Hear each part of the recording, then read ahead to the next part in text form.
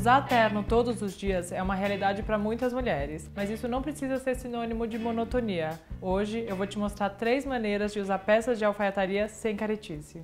O blazer sem manga, combinado com calça sequinha, feitos de brocado verde esmeralda, garante que esse look vá também para um evento noturno. A dica para você que usa bolsa longa com cara de escritório é diminuir a alça, enrolar e carregá-la como se fosse uma bolsa de noite.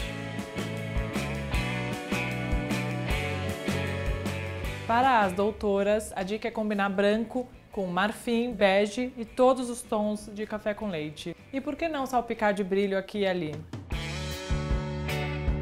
O terno estampado não precisa ser tabu. Entre de cabeça na brincadeira escolhendo pelo menos mais um acessório divertido para compor o look. E, se a opção for por uma calça cropped, não deixe de usar saltos nos pés.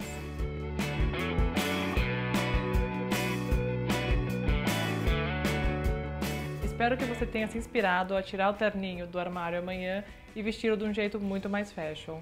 Até a próxima quarta-feira. Não deixe de conferir os créditos das peças e assine o TV Vogue no canal do YouTube.